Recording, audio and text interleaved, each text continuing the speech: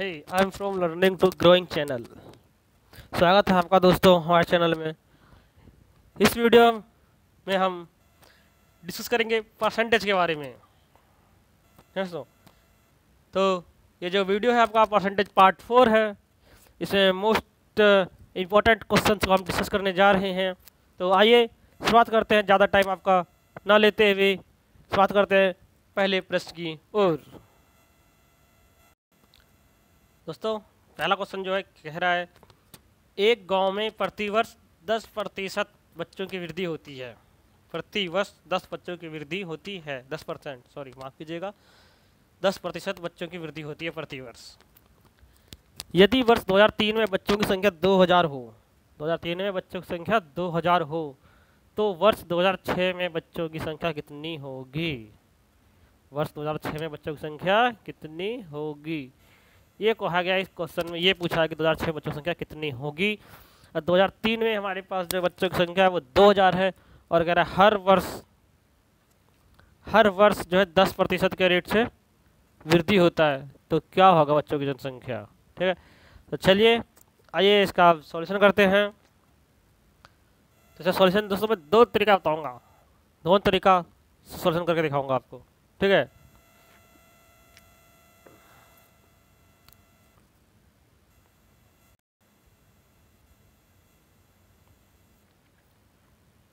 हमारे पास 2003 पहले देख लेंगे ईयर कितना है। यानी कि 2006 2003 हमारा तीन साल का पूछा गया है। दोस्तों, किस साल पूछा गया? तीन साल का। तीन साल में दस परसेंट के रेट से ग्रोथ होता है। कितने? दस प्रतिशत के रेट से ग्रोथ हो रहा है। दस परसेंट हर साल बढ़ रहा है। ये दो हज़ार है, इसको हम सौ परसेंट मान के चलते हैं। जो दो हज़ार है ना, इसको हमने माना ये है सौ परसेंट। ठीक है?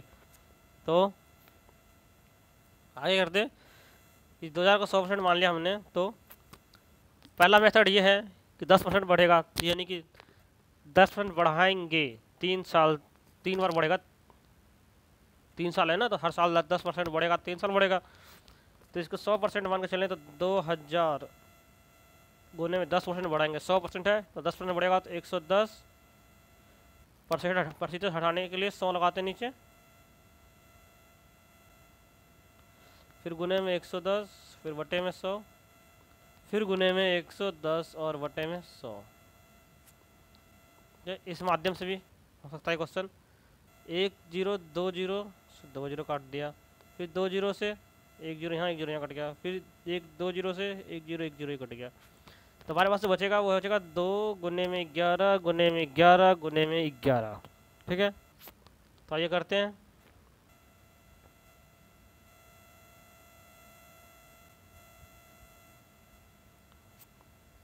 हमारे पास जो बचा था।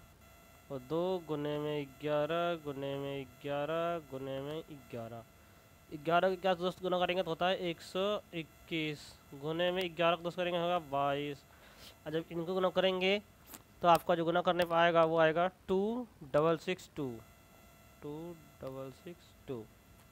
आप गुना कर देख लीजिएगा, जब मैं करके दिखा देता हूँ। मैं करके दिखाता हूँ आपको, एक सौ इक्कीस गुने बाईस। एक सौ इक्कीस को बाईस से गुना करेंगे। दो दूनी चार, फिर दो, इसी से इसी तरह से आएगा। Two four two two six six two. ठीक है दोस्तों आया ना? टू सिक्स सिक्स टू ये हुआ। इतनी ग्रोथ हुई। टू सिक्स सिक्स टू इतनी ग्रोथ हुई तीन साल के बाद जो हमारी जनसंख्या है, कुल इतनी होगी। अगर पूछा जाएगा कि कि कितनी जनसंख्या बढ़ी तो इसमें से दो हज़ार घटा देंगे तो आएगा सिक्स सिक्स टू इतनी जनसंख्या बढ़ी। ठीक है, लेकिन हमसे पूछा गया प्रश्न में, हमसे प्रश्न में पूछा गया है कि तो वर्ष दो हज़ार छः में बच्चों की संख्या कितनी होगी? तो इनमें से वो जो हमारा आंसर आया था टू डबल सिक्स टू कोई सा ऑप्शन नहीं है। तो देख सकते हैं इनमें से आंसर नन ऑफ़ दिस जो राइट आंसर है टू सिक्स सिक्स टू ठीक है, ये तो दोस्तों पहला मेथड था। अब इसी प्रश्न करने के लिए दूसरा मेथड है, यानी कि फार्मूला है। उससे भी सेम ही यही होगा। बस एक फार्मूला है जो काफ़ी यूज़ होता है। आप जब एस आई सिंपल इंटरेस्ट और चक्रवृद्धि ब्याज पढ़ेंगे तो उसमें इस फार्मूले का यूज़ होता है। तो देखते हैं वो फार्मूला क्या है। दोस्तों, वो जो फार्मूला है, वो है बच्चों की जनसंख्या हुआ।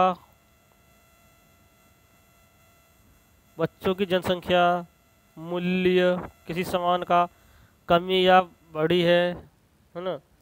तो उसी तरह से अगर बढ़ने के लिए कहेगा तो जो होता है वो पी ब्रैकेट में वन प्लस माइनस आर बटे में सौ इसी पावर एन ठीक है? प्लस है, यहाँ पे प्लस का इस्तेमाल करेंगे बढ़ने के लिए।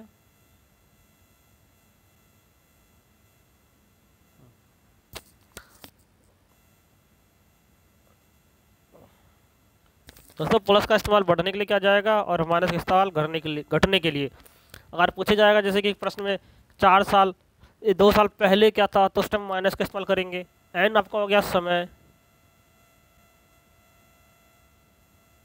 एन आपका हो गया समय। ठीक है एन को हम लिख सकते हैं। टाइम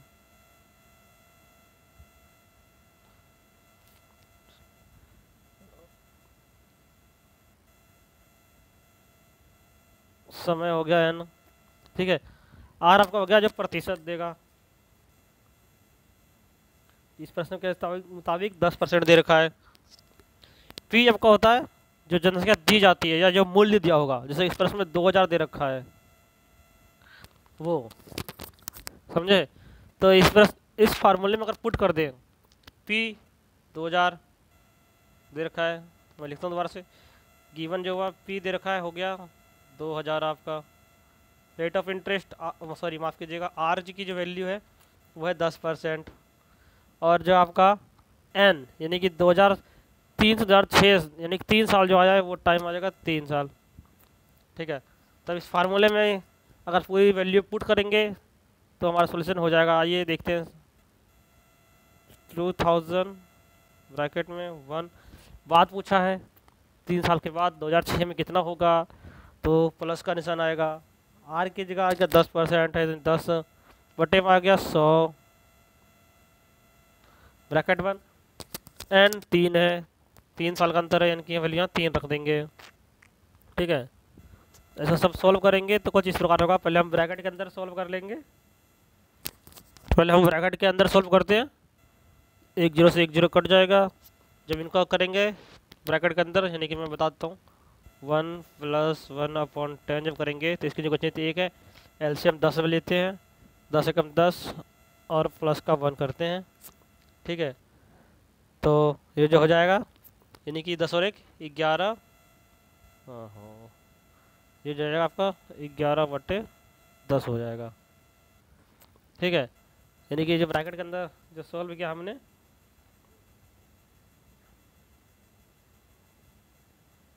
जो ब्रैकेट के अंदर हमने सॉल्व किया दोस्तों, वो आएगा ग्यारह बटे दस। ठीक है? और ग्यारह बटे दस आए तो दो हज़ार ब्रैकेट के अंदर ग्यारह बटे दस की पावर आई तीन। ठीक है, ये आया। इस तीन का मतलब क्या दोस्तों? ये तीन बार गुना होगा। आप देखेंगे तो आप इस, जो उसको पहला मेथड जो करवाया था अप्रोक्सीमेट वहीं तक आ गया है। बस ये इसमें यह है कि थोड़ा फार्मूला था। तो यानी कि दो हज़ार गुने में ग्यारह बटे दस, फिर गुने में ग्यारह बटे दस, फिर गुने में ग्यारह बटे दस। बस तो देखा आपने? जो डायरेक्ट मेथड कराया था, वो भी यही है, और जो फार्मूला में रखा तो उससे भी यही आया। तो जब इसको सॉल्व करेंगे, तब हमारा जो आंसर आएगा, वो आएगा क्या? टू सिक्स सिक्स टू जो कि ये हमारा हो गया आंसर ठीक है दोस्तों, चलिए इसी के साथ बढ़ते हैं। अगले प्रश्न की ओर। आज का दूसरा प्रश्न है, उसे देखते हैं। दोस्तों, आज का जो दूसरा प्रश्न है वो है आयत की भुजा वाला। सॉरी माफ़ कीजिएगा, वर्ग किसी, यदि किसी वर्ग की भुजा में दस प्रतिशत की वृद्धि कर दी जाए तो उसके क्षेत्रफल में कितनी वृद्धि होगी? बहुत महत्वपूर्ण क्वेश्चन एसएससी में पूछा गया क्वेश्चन है ये। आपको बता देता हूँ पहले, इसमें एक छोटा सा फार्मूला आपको याद होगा कि वर्ग की क्षेत्रफल का फार्मूला क्या होता है? भुजा स्क्वायर क्या होता है? वर्ग का क्षेत्रफल निकालना है तो? भुजा स्क्वायर इसको हम ए स्क्वायर भी लिखते हैं। ठीक है? हम इस प्रश्न में मान के चलेंगे, जो हमारे पास भुजा है, वो है हंड्रेड परसेंट मान के चलेंगे। हंड्रेड मान के चलेंगे। ये वर्ग है, हमने माना ये हंड्रेड है, ये हंड्रेड है, ये भी हंड्रेड है, ये भी हंड्रेड है। फिर दस परसेंट बढ़ा देंगे तो हो जाएगा ये क्या? एक सौ दस हो जाएगा, एक सौ दस हो गया ये भी ये भी एक सौ दस हो जाएगा, ये भी एक सौ दस हो गया। अब कह रहा है प्रश्न में क्या कहा था? कि आपका कहा था प्रश्न में कि जिसके क्षेत्र में कितने प्रतिशत की वृद्धि होगी तो इसका क्षेत्र, दोस्तों ये बड़ा हो गया, इसकी भुजा बढ़ा दी तो इसका क्षेत्रफल में से इसका क्षेत्रफल घटा देंगे। तो क्षेत्रफल आ, आ जाएगा हमारे पास। तो देखते कितना क्षेत्रफल आता है पहले। तो बड़े वाले वर्ग का ये बड़ा वाला है भैया ये बड़ा वाला ये छोटा हो गया। तो बड़े वाले का क्षेत्रफल माइनस छोटे वाले का क्षेत्रफल कर देंगे। तो हमारा क्षेत्रफल आ जाएगा कि अंतर कितना है फिर इसको हम प्रतिशत बदल लेंगे। तो आइए शुरू करते हैं निकालते हैं पहले इसका। तो मैंने जैसे कि आपको कहा था कि जो क्षेत्रफल का फार्मूला होता है वो होता है भुजा स्क्वायर। तो बड़े वाले का इधर बड़े का निकालेंगे माइनस छोटे का। तो क्या है, एक one one zero multiply one one zero minus में हंड्रेड मल्टीप्लाई हंड्रेड ग्यारह गुने ग्यारह होता है, एक सौ इक्कीस होता है। और दो बार ज़ीरो, दो बार लगा देंगे यहाँ पे। दस गुने दस जाएगा, सौ। दो बार ज़ीरो, यहाँ पे दो बार लगा देंगे। जिसको माइनस करेंगे तो क्या आएगा, वन टू वन टू और ज़ीरो आ गया, फिर आएगा वन, फिर आएगा टू। इक्कीस सौ आ गया। कितना है दोस्तों? इक्कीस सौ आया अंतर। क्षेत्रफल का अंतर आज आया हमारा, वो आ गया इक्कीस सौ। तब क्या करना है? जब यहाँ पे हमारा इक्कीस सौ आया, ये जो जो आया, इक्कीस सौ, ये आया क्षेत्रफल यूनिट में। इसको प्रतिशत में बदलने के लिए सौ से कर देंगे भाग। दो ज़ीरो से दो ज़ीरो कट गया, जो आया हमारा इक्कीस प्रतिशत क्षेत्रफल में वृद्धि हुई। देखते हैं, क्या है ऑप्शन इसका? कितने देखिए, आप प्रश्न पूछा है क्षेत्र के क्षेत्रफल में कितने परसेंट की वृद्धि हुई? ऑप्शन बी देख रहे हैं आप, बिल्कुल राइट आंसर है। बिल्कुल राइट आंसर है ऑप्शन बी। कोई डाउट है तो आप हमसे कमेंट के माध्यम से पूछ सकते हैं। कोई डाउट हो तो आप हम कमेंट के माध्यम से पूछ सकते हैं। अगर आपको इन प्रश्नों का पीडीएफ चाहिए तो हमें कमेंट कीजिए। हम आपको पीडीएफ फॉरवर्ड करेंगे, या पीडीएफ को डिस्क्रिप्शन बॉक्स में पिंच कर देंगे। ठीक है तो चलिए पढ़ते हैं आज की तीसरे प्रश्न की ओर।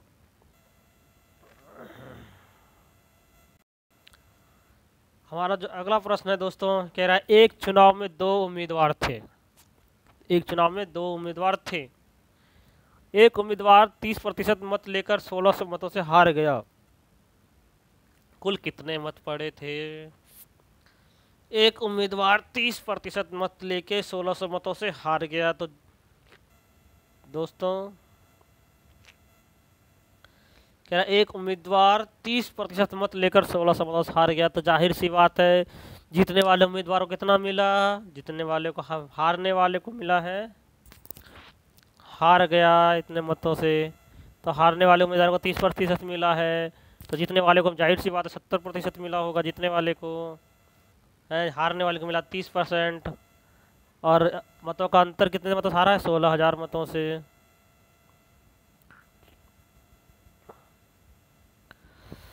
जीतने वाले को सत्तर परसेंट मिला।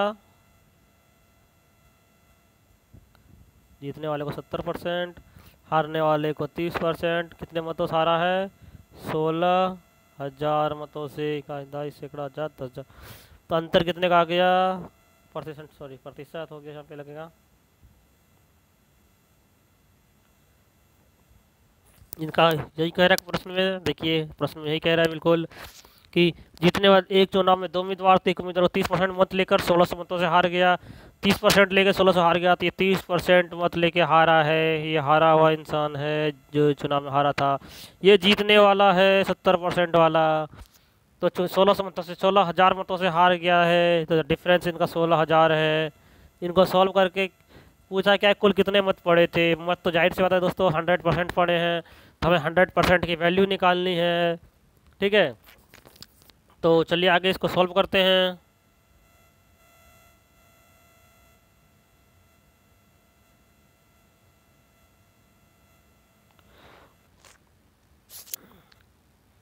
क्या था? सत्तर प्रतिशत माइनस तीस प्रतिशत बराबर सोलह हज़ार। डिफरेंस कितना आ गया? फोर्टी प्रतिशत बराबर आ गया हमारा सोलह हज़ार। ज़ीरो से ज़ीरो से ज़ीरो काट दो, फोर वन जा फोर फोर फोर जा सिक्सटीन। तो एक परसेंट बराबर दोस्तों जो आ गया, वो आ गया चार सौ।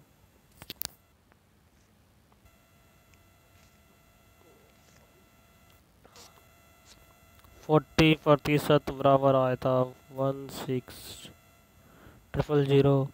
एक ज़ीरो से एक ज़ीरो कट जाएगा, चार से कट जाएगा चार बार में। तो हमारा वन परसेंट बराबर जो आ गया, वो आया कितना? चार सौ। वोट कितने पड़े थे? हंड्रेड परसेंट हंड्रेड परसेंट बराबर में हो जाएगा। क्या हो जाएगा? चार सौ को गुना कर देंगे सौ से। तो हमारा जो आएगा, गुना करने के बाद हंड्रेड परसेंट बराबर।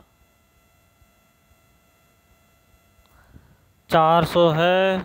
सौ से गुना के दो ज़ीरो और लग जाएगा। तो इकाई दाई सैकड़ा हज़ार दस हज़ार। चालीस हज़ार ऑप्शन देखिए। डी इकाई दाई सैकड़ा हज़ार दस हज़ार ऑप्शन। डी, बिल्कुल राइट आंसर दोस्तों, कुल कितने मत पड़े थे? कुल हंड्रेड परसेंट मत पड़े थे। हंड्रेड परसेंट मत बराबर चार हज़ार। सॉरी चालीस हज़ार मत पड़े थे। ठीक है? दोस्तों तो इसी के साथ बढ़ते हैं आज के अगले प्रश्न की ओर। हमारा जो अगला प्रश्न है, वो क्या कहता है? देखते हैं। ये है अगला प्रश्न, कह रहा है, एक चुनाव में दो उम्मीदवार थे, एक चुनाव में दो उम्मीदवार थे, इसमें कुल पचहत्तर सौ मत पड़े, सात हज़ार पाँच सौ मत पड़े, इन मतों में बीस परसेंट मतों को अवैध घोषित कर दिया गया। कुल मत सात हज़ार पाँच सौ पड़े हैं, कुल मत, जिनमें से कह रहे कि बीस परसेंट मतों को अवैध घोषित कर दिया गया है। दोस्तों, ध्यान सुनिएगा। मैं थोड़ा लिखने वाला ले लेता हूँ। कुल मत सात हज़ार पाँच सौ पड़े हैं। इन मतों में सात हज़ार पाँच सौ में से बीस परसेंट मत अवैध है। बीस परसेंट मत अवैध है। बीस को अवैध घोषित कर दिया गया है। यदि एक उम्मीदवार को पचपन प्रतिशत मत मिलते हैं, एक उम्मीदवार को पचपन पचपन प्रतिशत मिलते हैं तो दूसरे उम्मीदवार को कितने परसेंट वैध मत मिले दोस्तों, जो इलेक्शन होता है, उसमें अवैध से कोई मतलब नहीं होता। हमें कितने उम्मीदवार हैं? दो, जो वोटिंग हुई, वो हंड्रेड परसेंट वैध लेके चलते हैं। ठीक है ना? पहले हम निकालते हैं कि टोटल वैध वैध, यानी कि टोटल वैलिड जिन मत कितने हैं। टोटल वैलिड मत कितने हैं? यानी कुल सात हज़ार पाँच सौ बीस परसेंट अवैध है। इसमें साढ़े सात हज़ार में परसेंट अवैध है तो यहाँ से हम वैध मत निकालेंगे पहले। कितने वैध मत हैं? ठीक है? फिर उसको हंड्रेड प्रतिशत मान के उसका पचपन प्रतिशत जीतने वाले को मिला है तो दूसरे उम्मीदवार को कितना प्रतिशत मिलेगा, उस हिसाब से सॉल्व करते हैं। तो चलिए, करते हैं इसका शुरुआत। आइए दोस्तों, शुरू करते हैं। पहले हम निकालेंगे सात हज़ार पाँच सौ में बीस परसेंट अवैध मत है, बीस परसेंट अवैध मत कर दिया। एक ज़ीरो से एक ज़ीरो काट दिया, एक ज़ीरो से एक ज़ीरो काट दिया।